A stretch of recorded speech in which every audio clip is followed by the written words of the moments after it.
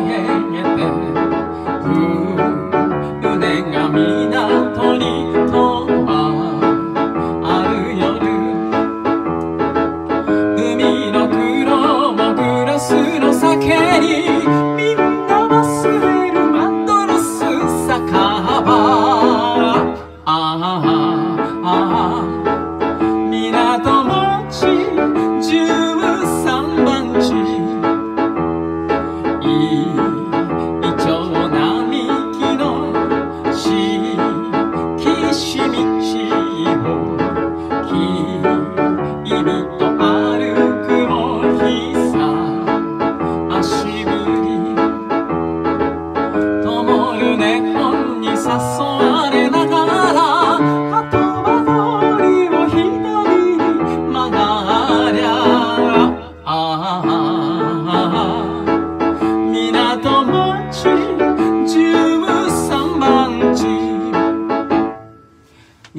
13番地でした。